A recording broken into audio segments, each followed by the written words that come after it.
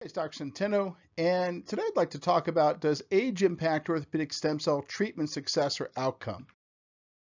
We were the first practice on earth to inject stem cells into arthritic joints and torn tendons and ligaments. And unlike others who've treated patients with stem cells for orthopedic injuries, we've tracked all those patients in a registry.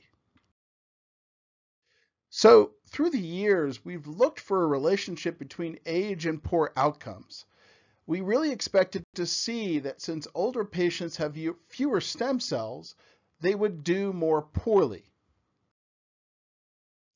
So based on our registry data, which is about 10,000 patients deep and our own research publications, that relationship largely doesn't exist.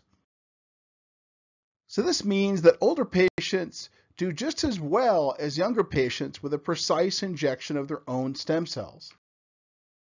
In fact, the only exception we've seen so far is with hip arthritis, and doing more poorly here seems to be as much a function of older age as it is the severity of the arthritis on X-ray or MRI. So despite this actual published research, we have chiropractors and others selling dead amniotic or cord blood tissue and falsely claiming that this is a live stem cell procedure. These same groups are claiming that young stem cells are needed for older patients because of all of this. Obviously, a young and dead stem cell is not more biologically active than an older live stem cell. In addition, our lab research demonstrated that these young tissues hurt older stem cells, not help them.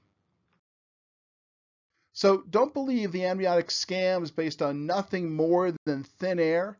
Believe in the power of your own stem cells, even if they're older.